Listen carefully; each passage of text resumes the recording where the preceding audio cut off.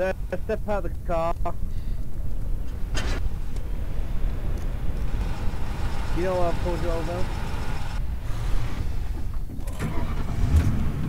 As you probably tell by now, I have You not a know clue. why I pulled you over?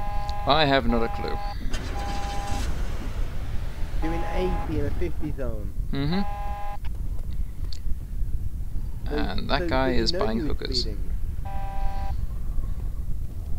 Or was about to, but What did you just do, Tommy? Sir, get back in your vehicle and drive off. Joker, stop moving. Sir, get back in your vehicle and drive do you off. think I Yeah, should buy one bye-bye. of those apartments up there? You think I should? Pay attention. Hmm. Put your hands up now. Hands up. I'm not putting my hands up. Last chance, put your hands up. Sir, you do what an officer says, or Mm. I'm gonna tase you. Uh, I mean, you if you want to tase me, I'm not gonna be, I'm not gonna put my hands up for a random search. Now I'm going to an admin. I'm recording this. Nice. Who's this? We this? pulled you over for speeding. We've already said so. Joel and. Cause. Uh, You go ahead and take it. I've already said I've pulled you over for speeding doing Mhm, that's- 80 and a 50 that is zone. true. That is true.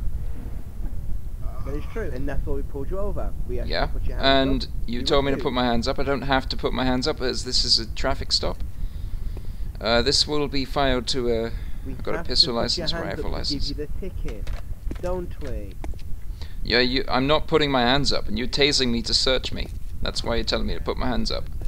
No, we're restraining you to give you the ticket. Never guess where I'm going.